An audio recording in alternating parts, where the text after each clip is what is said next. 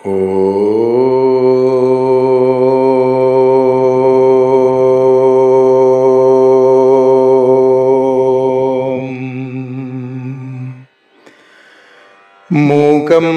കരോതി വാചാലം പങ്കും ലംഘയത്തെ ഗിരിം. യൽകൃപാതമഹം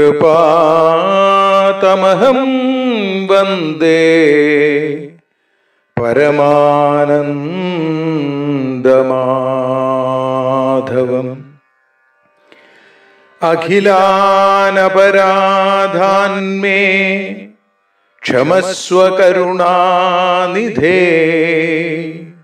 പ്രസീദ മൽഗുരോ നാഥ ജനകായ നമോ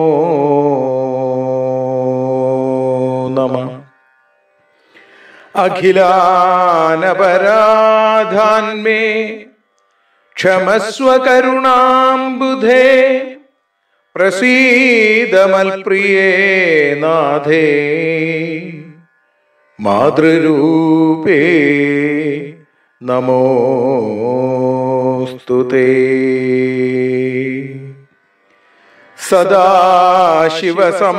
സദാശിവസമാരംഭാം ശങ്കരാചാര്യമധ്യമാം അസ്മദാചാര്യപര്യന്താം.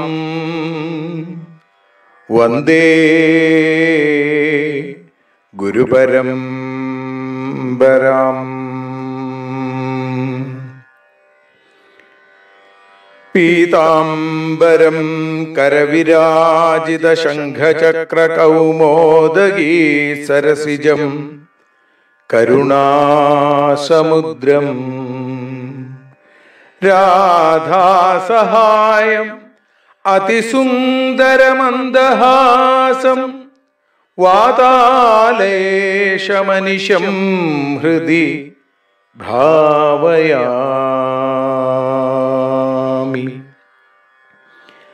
അനന്യത്രാണൈകപ്രവണഹൃദയേ ദേവി ദിശമേ ധനം ധാന്യം സൗഖ്യം ഹരിചരണഭക്തിം ച വിനയം. അസൂയാമത്സര്യാദ്യനുപമ മനോരോഗശമന പ്രവീണാം വാണിം സൽപ്രകരപരമാഹ്ലാദജനനിം. ശ്രീജഗദംബികായി നമ. സർവത്ര ദേവീനാമസങ്കീർത്തനം ശ്രീമഹാദേവ്യൈ നമ. ദശകം രണ്ട് ഹയഗ്രീവ കഥ അസൂരന്മാർയുദ്ധത്തിങ്കൽ കൊല്ലപ്പെട്ടു വമരന്മാർ അത്യാഹ്ലാദത്തോടെ യജ്ഞം ചെയ്യാനുറച്ചു. അനന്തവീര്യവാനാകും വിഷ്ണുവിനെ സമീപിച്ചു. അവരും മഹേശ ബ്രഹ്മദേവ സമേതം. ദേവസേനാപതിയായി യുദ്ധം ചെയ്ത വിഷ്ണു താനും ദേഹം തളർന്നൽപ്പനേരം ഉറങ്ങിടവേ. ചാപത്തിൽ തലയും ചേർത്തു ഉറങ്ങുന്ന വിഷ്ണുവിനെ പാപഭീത്യ ആരും തന്നെ ഉണർത്തിയില്ല. ഞാൻ വലിച്ചു കെട്ടിയതാം. വില്ലിന്മേൽ മുഖവും ചേർത്തു. ജ്ഞാനമൂർത്തിയുറങ്ങവേ ബ്രഹ്മദേവനും. ജ്ഞാനശക്തി കൊണ്ടു തീർത്ത ചീതലിനാൽ ഞാൻ മുറിഞ്ഞു. കഴുത്തു മുറിഞ്ഞു. വിഷ്ണു നീലത്തു വീണു. ദേവജനമൊന്നടങ്കം സ്തംഭിച്ചു നിന്ന സമയം ദേവദേവൻ തന്റെ തല കടലിൽ വീണു. ദേവവൃന്ദം ദുഃഖാബ്ധിയിൽ ആണ്ടുപോയി അനന്തരം ദൈന്യതയോടെയുറക്കെ നിലവിളിച്ചു. ഹരി വീണു എന്തു ചെയ്യും നമ്മളിനി കൂട്ടുകാരെ? ഹരിയാകും ദേവേന്ദ്രനും ചോദിച്ച നേരം. അകാരണമായി ഒന്നും ഭവിക്കില്ല ബ്രഹ്മൻ ചൊല്ലി. കർമ്മഫലത്തിന്റെ ബലം അത്ഭുതം തന്നെ. സർഗസ്ഥിതി സംഹാരത്തിൻ ഹേതുവായ ദേവിയെ താൻ സ്വർഗലോകവാസികളെ ധ്യാനിച്ചിടുക. സഗുണയും നിർഗുണയും സർവശക്തയുമാം ദേവി സർവകാര്യ സാഫല്യത്തെ നൽകിയിടും നൂനം. ഇത്തരത്തിൽ ബ്രഹ്മാവിന്റെ പ്രേരണയാൽ ദേവജനം ഇന്ദുമുഖി ഈശ്വരിയെ സ്തുതിച്ചു ഭക്തിയാ. ഈ സമയം ദേവി താനും പ്രത്യക്ഷയായി ചൊല്ലിയേവം ഇപ്രകാരം ഹരിയാലെ നന്മ ഭവിക്കും. ഹയഗ്രീവനെന്ന ദൈത്യൻ ഞാൻ നൽകിയ വരത്താലെ ഹയഗ്രീവനാലെ മാത്രം വധ്യനുമായി. ഹൃദയത്തിൽ ദർപ്പമേറി വേദങ്ങളെ മുനിമാരെ ഹനിക്കുവാൻ തുടങ്ങിനാൻ അതിക്രൂരമായി. വിധിയുടെ ബലത്താലെ തല പോയ ദേഹത്തിലോ വിധി പോലെ ചേർത്തിടുക കുതിരത്തല. വിഷ്ണുവതിനാലെ സാക്ഷാൽ ഹയഗ്രീവനായി മാറും. വധിക്കും ഹയഗ്രീവനെ സംശയം വേണ്ട. ദേവി തിരോധാനം ചെയ്തു ദേവദേവ കണ്ഠത്തിലോ. ദേവൻ ത്വഷ്ടാവിനാൾ ചേർത്തു കുതിരത്തല. ദേവതതി നോക്കി നിൽക്കെ ഹയഗ്രീവനായി സാക്ഷാൽ ദേവദേവൻ ശ്രീഹരിയും എഴുന്നേറ്റല്ലോ. ലോകമാതയ വീടുത്തെ അനുഗ്രഹത്താലെ വിഷ്ണു ലോകമംഗളത്തെ ചെയ്തു. ദൈത്യൻ മരിച്ചു. ലോകമംഗളകാരിണി അവിടുത്തെ കൃപാതീർത്ഥം അടിയന്റെ ശിരസിലായി എന്നും വീഴണേ. അമ്മേ ദേവി ഭഗവതി അമ്മേ ലക്ഷ്മി ഭഗവതി അമ്മേ ഭദ്രേ ഭഗവതി അമ്മേ ശരണം. अम्मे देवी भगवति अम्मे लक्ष्मी भगवति अम्मे भद्रे भगवति अम्मे शरणं देवी शरणं लक्ष्मी शरणं भद्रे शरणं काळीशरणम् अम्मे शरणम्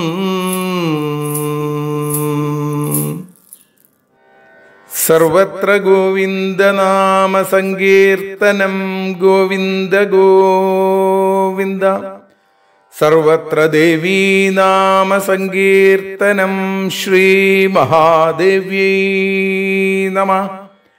അമ്മേ നാരായണ ദേവി നാരായണ ലക്ഷ്മി നാരായണ ഭദ്രേ നാരായണ.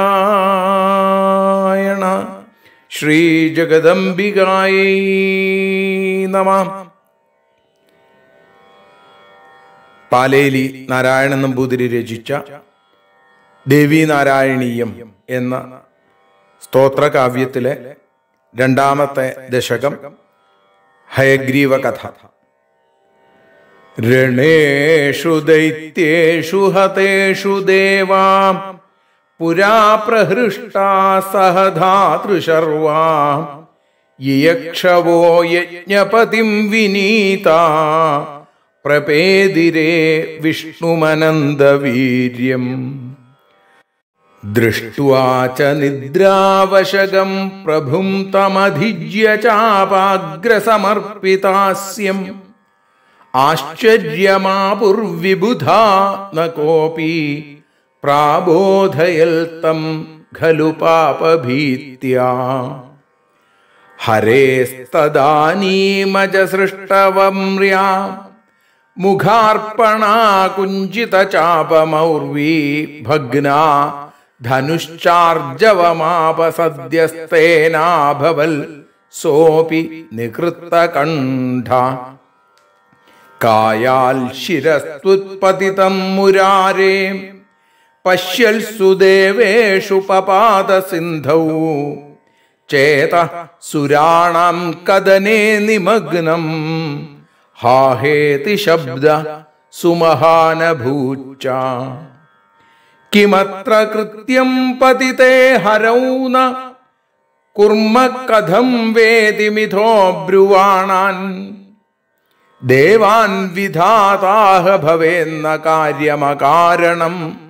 ദേവാൻ വിധാതാഹ ഭവേന്ന കാര്യമകാരണം ദൈവമഹോ ബലീയ. ധ്യായേത ദേവീം കരുണാർദ്രചിത്താം. ബ്രഹ്മാണ്ഡ സൃഷ്ട്യാദികഹേതുഭൂതാം സർവാണി കാര്യാണി വിധാസ്യതേന സാ സർവശക്ത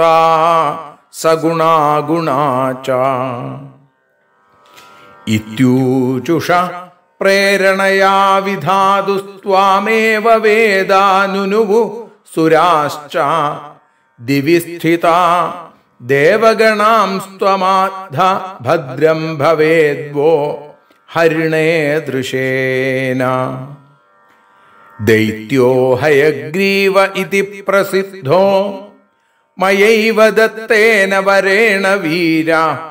മയൈവ ദത്തേന വരേണ വീര വേദാൻ മുനീംശ്ചാപി ഹയാസ്യമാത്രവധ്യോ ഭൃശം പീഡയതി പ്രഭാവാൽ. ദൈവേന കൃത്തം ഹരിശീർഷമദ്യ സംയോജ്യതാം വാജിശിരോസ്യ കായേ. തതോ ഹയഗ്രീവതയാ മുരാരിർ ദൈത്യം ഹയഗ്രീവമരം നിഹന്ത. ത്വമേവ മുക്വാ സദയം തിരോധാസ്ത്വഷ്ട്രാക്കബന്ധേ ശശിരോ മുരാരേ സംയോജിതം പശ്യതി ദേവസംഘേ. ഹയാനന ശ്രീഹരിരുദ്ധിതോ ഭൂൽ. ദൈത്യം ഹയഗ്രീവമഹൻ ഹയാസ്യോ രണേ മുരാരിസ്ത്വദനുഗ്രഹേണ സദാ ജഗന്മംഗളദേ ത്വദീയാ. പതന്തു മേ മൂർധ്നി കൃപാകടാക്ഷ. സർവത്ര ദേവീനാമ സങ്കീർത്തനം ശ്രീമഹാദേവ്യൈ നമ. ശ്രീ ചോറ്റാനിക്കരമ്മേ ശരണം. ശ്രീ പാറമേക്കാവിലമ്മേ ശരണം. ശ്രീ മൂകാംബികായൈ നമ. ശ്രീ തിരുമാന്താങ്കുന്നിലമ്മേ ശരണം. ശ്രീ കണ്ണമ്പുഴക്കാവിലമ്മേ ശരണം. ഹൈഗ്രീവ കഥയോട് കൂടിയിട്ടാണ് രണ്ടാമത്തെ ദശകം ദേവീനാരായണീയം യശശരീരനായ പാലേലി അമ്മയുടെ പാദങ്ങളിൽ സമർപ്പിച്ചിട്ടുള്ളത്.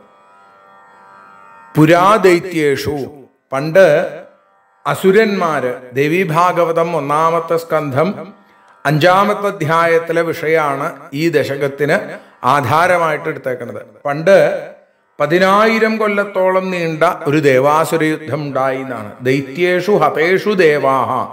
അപ്പോ അസുരന്മാര് യുദ്ധങ്ങളിൽ കൊല്ലപ്പെട്ടു കഴിഞ്ഞപ്പോ പ്രഹൃഷ്ടാദേവാഹ സന്തോഷിച്ച ദേവന്മാര് യജ്ഞം ചെയ്യാനായിട്ട് ആഗ്രഹിച്ചു എന്നാണ്.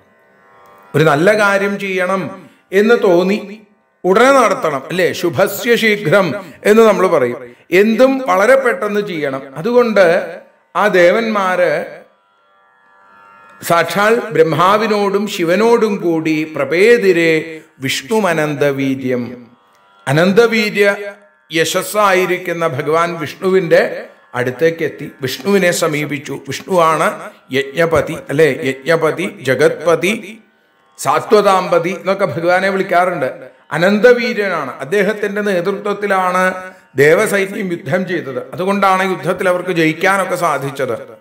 അപ്പോ ബ്രഹ്മാവിന്റെയും രുദ്രന്റെയും ഒപ്പം ഈ ദേവന്മാരെ ദേവസമൂഹം ഒന്നടങ്കം യജ്ഞപതിയായിരിക്കുന്ന വിഷ്ണുവിന്റെ അടുത്തേക്ക് എത്തി അവിടെ ചെന്നപ്പോഴോ ദൃഷ്ടുവാച നിദ്രവശകം പ്രഭും തമധിജ്യ ചാപാഗ്രസമർപ്പിതാസ്യം. അവിടെ ഭഗവാൻ കിടന്ന് ഉറങ്ങുകയാണത്രേ. യുദ്ധം ചെയ്തു വിഷ്ണു ദേവസേനാധിപതിയായി. അതുകൊണ്ട് അസുരന്മാര് നശിച്ചപ്പോഴേക്കും വിഷ്ണുവിന് തളർച്ച വന്നു എന്നാണ്. എത്ര കാലം എന്നാ പറയണത്? പതിനായിരം വർഷത്തോളം നീണ്ടു നിന്ന യുദ്ധം എന്നാണ്. അതുകൊണ്ട് തന്നെ വല്ലാതെ ക്ഷീണിതനായി പോയി വിഷ്ണു. അതുകൊണ്ട് എന്ത് ചെയ്തു?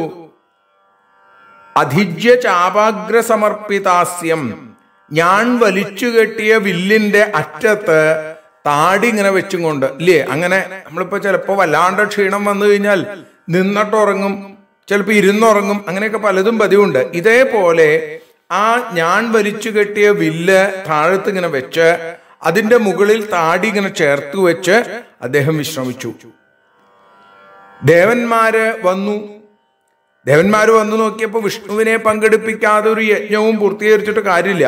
യജ്ഞം നീട്ടിവെക്കാനും വയ്യ. വിഷ്ണുവിനെ വിളിച്ചുണർത്തുക എന്താ വഴി? പക്ഷേ മഹാദേവൻ പറഞ്ഞു ഉറങ്ങുന്ന ഒരാളെ നമ്മൾ വിളിച്ചുണർത്താൻ പാടില്ല. അതാണ് ഏറ്റവും വലിയ പാപം.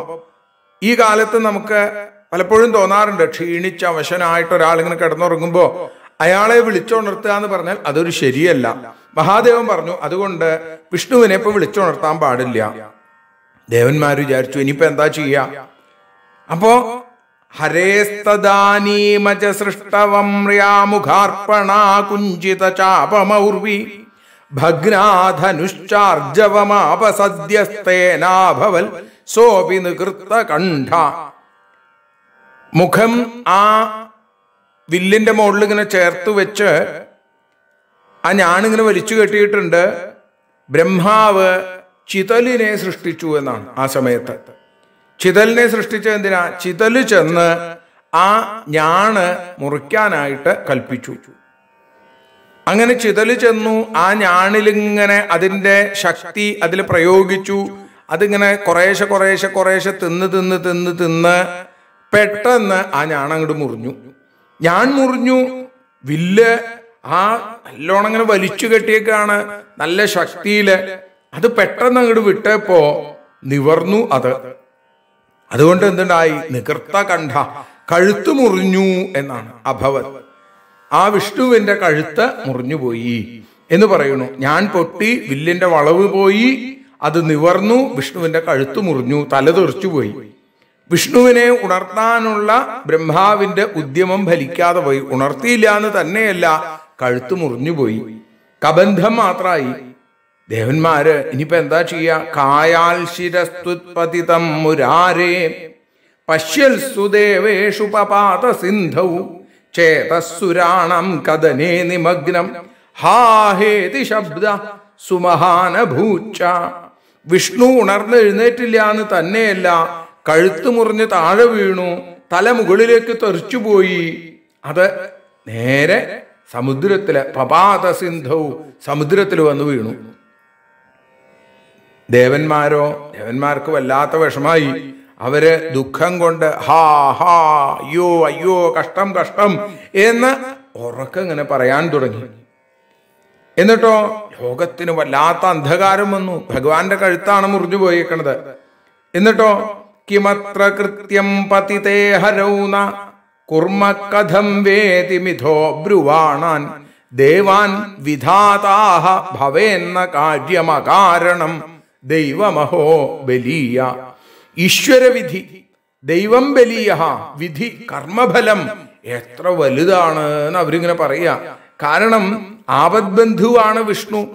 ആ ആപദ്ബാന്ധവനായ വിഷ്ണു ഇപ്പൊ ആപത്തിൽ പെട്ടേക്കുന്നു. വിഷ്ണുവിന്റെ കഥ കഴിഞ്ഞു. ഹരൗപതിത്തെ അത്ര ഈ ഘട്ടത്തിൽ നമ്മൾ കൃത്യം കിം നമ്മൾ എന്തു ചെയ്യും? കഥം വാ കുർമ്മ. എങ്ങനെ ചെയ്യാൻ സാധിക്കും? നമ്മളെ രക്ഷിക്കേണ്ട ആളാണ് ഭഗവാൻ. ആ ഭഗവാന്റെ കഴുത്ത് മുറിഞ്ഞു പോയേക്കണു എന്താ ചെയ്യാ? ബ്രഹ്മാവ് പറഞ്ഞു ഒരു കാര്യവും കാരണമില്ലാതെ സംഭവിക്കില്ല എന്നാണ്.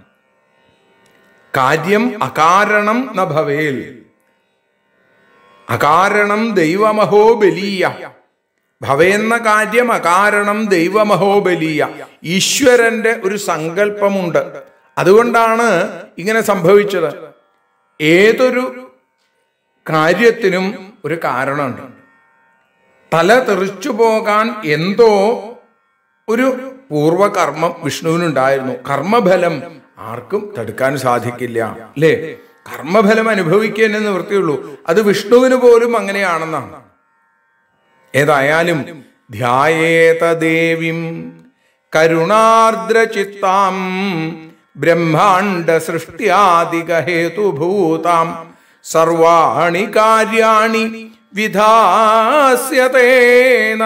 സാ സർവശക്ത സഗുണാഗുണാ ച ബ്രഹ്മാണ്ഡ സൃഷ്ട്യാദികഹേതുഭൂതാം ബ്രഹ്മാണ്ടങ്ങളുടെ സൃഷ്ടിയാദി സൃഷ്ടി സ്ഥിതി സംഹാരം ഇതിനൊക്കെ കാരണഭൂതയായിരിക്കുന്ന ആ ദേവിയെ ആ ദേവി എങ്ങനെയുള്ള ദേവിയാണ്? കരുണാർദ്രചിത്താം. കാരുണ്യസ്വരൂപിണിയാണ് കാരുണ്യവതിയാണ്. കാരുണ്യം നിറഞ്ഞ ഹൃദയത്തോടു കൂടിയിട്ടുള്ള ആ ദേവിയെ ധ്യായേത ദേവിയും ആ ദേവിയെ ഈ ദേവന്മാർ മുഴുവൻ ധ്യാനിക്കാനായിട്ട് ബ്രഹ്മാവ് നിർദ്ദേശിച്ചു.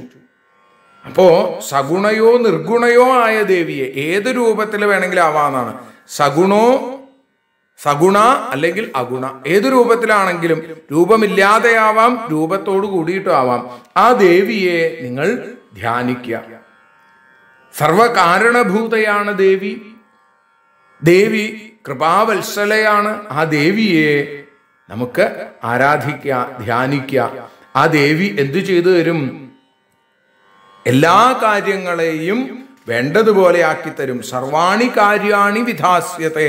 എല്ലാം വേണ്ടതുപോലെ നടത്തി തരും അപ്പോ ശക്തിസ്വരൂപിണിയായ ദേവിയെ ആദ്യ ദശകത്തിൽ ബ്രഹ്മത്തിന്റെ പ്രകടാവസ്ഥയാണ് നിർഗുണ സ്വരൂപിണിയാണെന്ന് പറഞ്ഞു. സഗുണയായ ദേവി വ്യക്തമായ രൂപമുള്ളവളാണ്. അപ്പൊ സഗുണയെ ധ്യാനിച്ചാലും നിർഗുണയെ ധ്യാനിച്ചാലും ഫലം ഒന്ന് തന്നെയാണ്.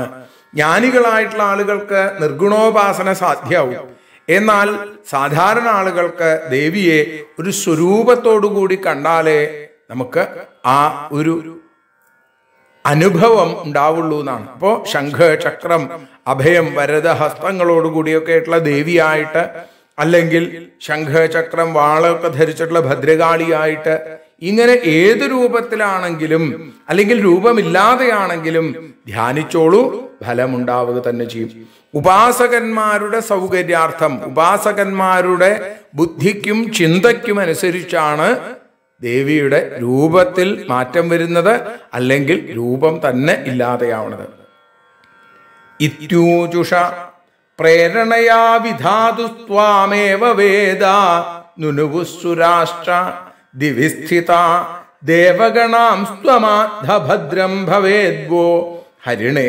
ദൃശേന. ഇങ്ങനെ ആ വിധാതാവ് സാക്ഷാൽ ബ്രഹ്മാവിന്റെ പ്രേരണയനുസരിച്ച് ഇങ്ങനെ ഭഗവതിയെ ധ്യാനിച്ചപ്പോ സ്വന്തം മന്ത്രങ്ങളെ കൊണ്ട് അതേപോലെ വേദമന്ത്രങ്ങളെ കൊണ്ടൊക്കെ സ്തുതി ആരംഭിച്ചു. ദേവി ആകാശത്തിൽ ദാ പ്രത്യക്ഷയായി എന്നാണ്. ത്വം ദിവിസ്ഥിത ദേവി ആ ഭൂ ഭൂമിയിലല്ല ആകാശവീതിയിൽ വിണ്ണിൽ സായുധാഷ്ട മഹാഭുജ എന്ന് കംസന്റെ ആ മുമ്പിൽ അമ്മ പ്രത്യക്ഷപ്പെട്ടതുപോലെ പാറമേക്കാവിലമ്മയായിരിക്കുന്ന ആ ഭഗവതി ആകാശവീതിയിൽ നിന്നുകൊണ്ട് പറഞ്ഞു ഈദൃശേന ഹരിണ ഹരിയെ കൊണ്ട് വ ഭദ്രം ഭവേൽ നിങ്ങൾക്ക് നന്മ വരിക തന്നെ ചെയ്യും. ഭദ്രം ഭവേദ്വോ ഹരിണേ ദൃഷേന എന്ന് പറഞ്ഞ് ദേവി അവിടുന്ന് ദാ ആ അവരെ മുഴുവൻ അനുഗ്രഹിച്ചു. എന്നിട്ട് പറഞ്ഞു ദൈത്യോ ഹയഗ്രീവൈതി പ്രസിദ്ധോ ദത്തേന വരേണ വീര. വേദാൻ മുനീംശ്ചാപി ഹയാസ്യ ഭൃശം പീഡയതി പ്രഭാവാൽ ഹയഗ്രീവ ഇതി. ഹയഗ്രീവൻ എന്ന് പ്രസിദ്ധനായിട്ടുള്ള വീരനായിട്ടുള്ള ഒരു ദൈത്യൻ എന്തുകൊണ്ടാ അവൻ കേമനായി മാറിയത്? പറയാണ് മയേവ ദത്തേന വരേണ വീരഹ. ഞാൻ കൊടുത്ത വരം കൊണ്ട് അവൻ വളരെ കേമനായി. അപ്പോ ഇവന് ഞാൻ എന്താ വരം കൊടുത്തത്? ഹയാസ്യ മാത്രവധ്യ. കുതിരത്തലയുള്ള ആൾക്ക് മാത്രമേ ഇളെ കൊല്ലാൻ പറ്റുള്ളൂ എന്ന് ഒരു വരം ഞാൻ കൊടുത്തു. പക്ഷേ ഇപ്പോ ഈ വരം കൊടുത്തത് വലിയ കുഴപ്പമായിട്ട് തോന്നുകയാണ്. ദേവി പറയാണ് കാരണം ഇവനിപ്പോ വേദങ്ങളെയും മുനികളെയും ഒക്കെ തന്റെ പ്രഭാവം കൊണ്ട് തന്റെ ശക്തി കൊണ്ട് ഭൃഷം പീഡയതി. എപ്പോഴും ദ്രോഹിച്ചുകൊണ്ടിരിക്കുകയാണ് ദേവന്മാർക്ക് ലഭിക്കാൻ പോകുന്ന നന്മ അതാണ് പറയുകയാണ്. ഒരു വിപത്തിനെ ആദ്യം സൂചിപ്പിക്കുക. ഹൈഗ്രീവൻ എന്ന അസുരൻ ദേവിയെ വളരെ കാലം ദേവിയുടെ മായാബീജമന്ത്രം ജപിച്ച് കുറേ കാലം തപസ്സു ചെയ്തു ഓം ഹ്രീം അല്ലെ? ആ ഹ്രീം ശബ്ദം ദേവിയുടെ മായാബീജ മന്ത്രമാണ് അപ്പൊ ദേവി പ്രത്യക്ഷപ്പെട്ടു. അസുരൻ വരം ചോദിച്ചു കുതിരയുടെ തലയുള്ളവൻ മാത്രമേ എന്നെ കൊല്ലാൻ പാടുള്ളൂ. അങ്ങനെ കുതിരയുടെ തലയുള്ളവൻ ലോകത്തില്ല. അപ്പൊ തനിക്ക് മരണത്തിൽ നിന്ന് രക്ഷപ്പെടാൻ സാധിക്കും. ഇനി ഒരു കുതിരത്തലയൻ ജനിക്കാനും പോണില്ല. അല്ലേ സാധാരണ മനുഷ്യർക്ക് മനുഷ്യന്റെ തലയല്ലേ ഉണ്ടാവുക. കുതിരയുടെ തലയുള്ള ഒരാൾ ഉണ്ടാവില്ല എന്ന് വിചാരിച്ച് അജയ്യനായി അവധ്യനായി ഇനി മരണമേ ഉണ്ടാവില്ല താൻ അമരനായി എന്ന് തീർച്ചപ്പെടുത്തി അഹങ്കരിച്ചു. അപ്പൊ തന്നെ ആർക്കും ഒന്നും ചെയ്യാൻ സാധിക്കില്ല എന്ന് വന്നു കഴിഞ്ഞാൽ അപ്പോഴാണ് അഹങ്കാരം ഉണ്ടാവുക അല്ലെ?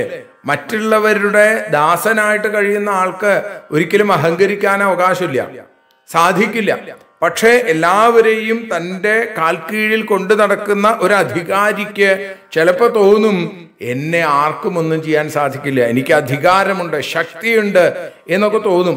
ഇതേ കൊണ്ട് സ്വന്തം ശക്തി കൊണ്ട് വേദങ്ങളെയും മുനിമാരെയും ഒക്കെ പീഡിപ്പിക്കാൻ തുടങ്ങി. ഇപ്പൊ ദേവന്മാർക്ക് ഇനി അടുത്തത് ദേവന്മാരുടെ നേർക്കാണ് വരാൻ പോണത്.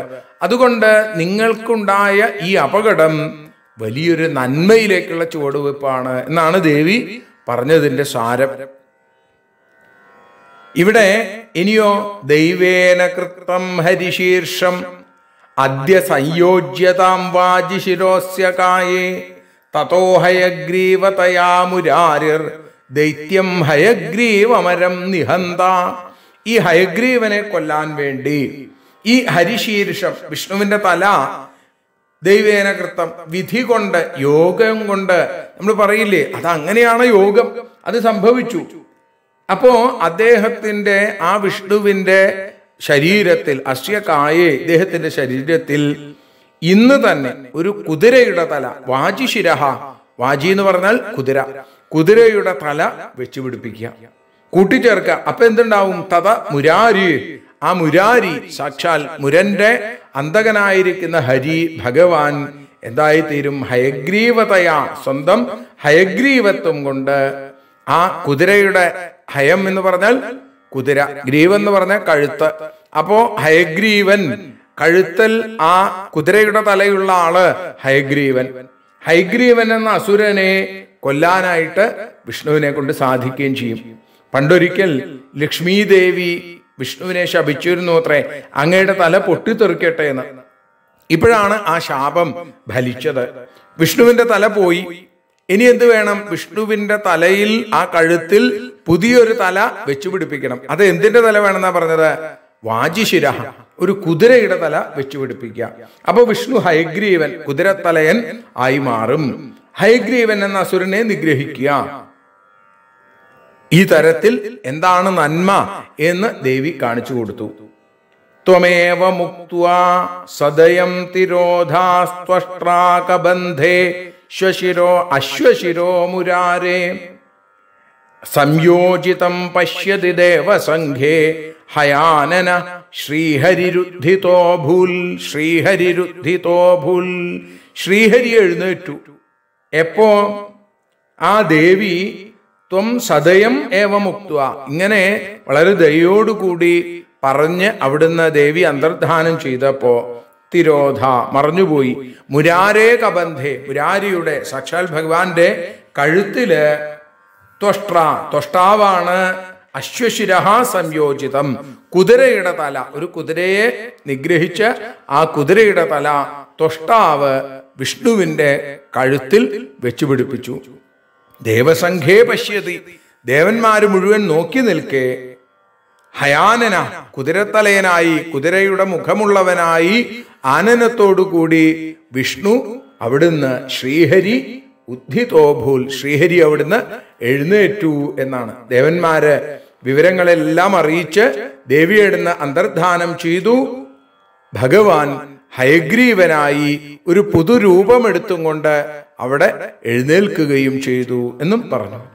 എന്നിട്ട് എന്തുണ്ടായി? പിന്നീടാണ് ആ ഹയഗ്രീവനെ നിഗ്രഹിച്ചു എന്ന് പറയണത്. ദൈത്യം ഹയഗ്രീവമഹൻ ഹയാസ്യോ രണേ മുരാരിസ്ത്വതനുഗ്രഹേണ സദാ ജഗന്മംഗളദേ ത്വദീയാഹ പതന്തുമേ മൂർധ്നി കൃപാകടാക്ഷ.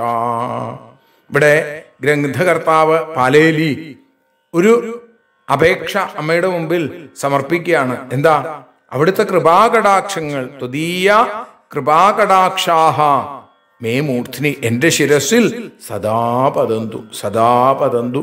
എന്റെ ശിരസിൽ അങ്ങയുടെ കൈ ഇങ്ങനെ ചേർത്ത് വെക്കണേ എന്നെന്നും അനുഗ്രഹിക്കണേ. ഹയാസ്യഹ മുരാരി കുതിരയുടെ മുഖമുള്ള വിഷ്ണു.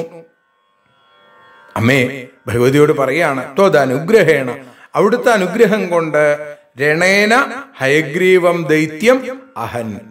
ആ യുദ്ധത്തിൽ ഹൈഗ്രീവൻ എന്ന ആ ദൈത്യനെ അവിടെ നിഗ്രഹിച്ചു. ജഗന്മംഗളതേ ലോകത്തിന് മംഗളത്തെ നൽകുന്നവളെ അമ്മേ തുതീയ പതന്തുമേ മൂർത്തി കൃപാകടാക്ഷാഹ. കൃപാകടാക്ഷങ്ങളെ അനുഗ്രഹത്തെ അവിടുന്ന് എപ്പോഴും തരണം. അവിടുത്തെ കൃപാകടാക്ഷം ലഭിച്ചാൽ പിന്നെ ഒരാപത്തും വരില്ല എന്ന് ഈ ഹൈഗ്രീവന്റെ കഥയിലൂടെ കാണിച്ചു തരുന്നു. അപ്പോ വിഷ്ണു ഹൈഗ്രീവനായ കഥയും ഹൈഗ്രീവൻ എന്ന അസുരന്റെ കഥയും ചേർത്ത് രണ്ടാം ദശകം അവിടെ സമർപ്പിച്ചു. ആദ്യം സൂചിപ്പിച്ചതുപോലെ ദേവി ഭാഗവതത്തിന്റെ പ്രഥമസ്കന്ധത്തിൽ അഞ്ചാമത്തെ അധ്യായത്തിലാണ് ഈ കഥ നമുക്ക് കേൾക്കാൻ സാധിക്കുക. ഭഗവാന്റെ ഹൈഗ്രീവനായിട്ടുള്ള അവതാരവും ഹൈഗ്രീവൻ എന്ന അസുരനെ നിഗ്രഹിച്ചതായിട്ടുള്ള കഥയും അത് ദേവിയുടെ അനുഗ്രഹവർഷമായിട്ട് വർഷമായിട്ട് കൊണ്ടാണ് ആ രംഗം അവിടെ ഉപസംഹരിക്കുന്നത്. ഇന്ന് നമുക്ക് ഭഗവത് പാദങ്ങളിൽ അമ്മയുടെ പാദങ്ങളിൽ സമർപ്പിക്കാം. നാളെ മൂന്നാമത്തെ ദശകം ഭദ്രകാളി അവതാരം. അതിനെക്കുറിച്ചാണ് മൂന്നാമത്തെ ദശകത്തിൽ പറയുന്നത്. അത് വേണ്ടതുപോലെ അനുസ്മരിക്കാൻ ഭഗവതി നമ്മളെ അനുഗ്രഹിക്കട്ടെ എന്ന് പ്രാർത്ഥിച്ചുകൊണ്ട് കൊണ്ട് ഭഗവത് പാദങ്ങളിൽ സമർപ്പിക്കുന്നു. സർവത്ര ദേവീ നാമ സങ്കീർത്തനം ശ്രീ മഹാദേവ്യൈ നമ. അമ്മേ നിന്നുടെ മുന്നിലായടിയനും ചേർക്കട്ടെ ഈ വാക്കുകൾ. ചെമ്മേ നീ കനിയേണമെന്നും ഇവനിൽ കാരുണ്യരൂപേ ശിവേ. എല്ലാ തെറ്റുകളും പൊറുത്തു. വരതേ എന്നാവിലായി നിത്യവും സാമോദം വിലസേണമെൻ ഭഗവതി. ശ്രീദേവി നാരായണീ.